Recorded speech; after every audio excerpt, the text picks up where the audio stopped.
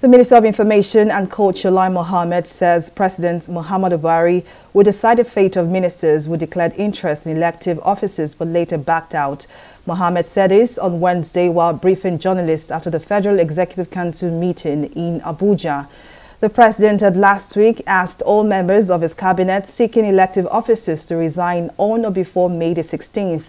Speaking on the outcome of his meeting with Facebook, the minister further explained that he has asked Facebook to prevent the proscribed indigenous people of Biafra, IPOB, from using its platform to incite violence. The minister added that Facebook has a justification for using its platform for the organization whose aim is to destabilize the country.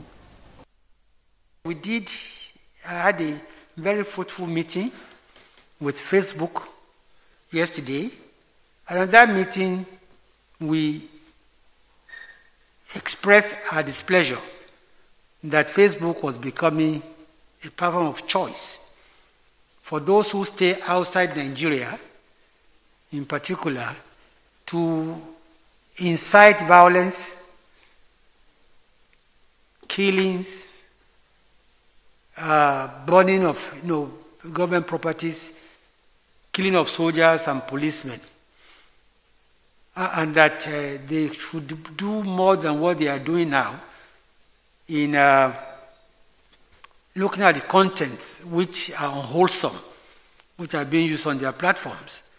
Incidentally, the BBC did a documentary on this particular issue, and it uh, found out that uh, some of them who call themselves uh, social media warriors in England, in France, and other places have in recent times, you know, been using uh, the Facebook platform to incite people to violence in Nigeria.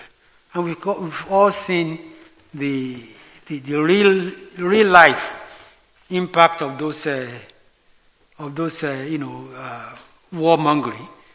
And we, we, we, did want, you know, uh, Facebook to please do more than what they are doing now. And uh, I must say that their response was quite encouraging. They said they were going to do much more.